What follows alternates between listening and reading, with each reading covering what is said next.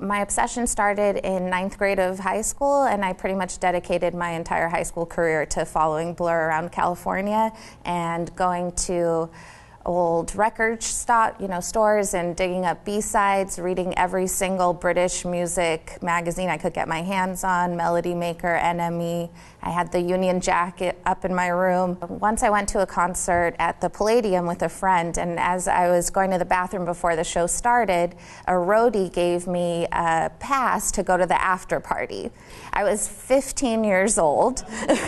I rushed back to my friend, and I'm like, You won't believe what just happened. We're going to the rooftop of the Hyatt Hotel after this show. We're freaking out. We go there. Of course, I tell my mom just spending the night at my friend's house.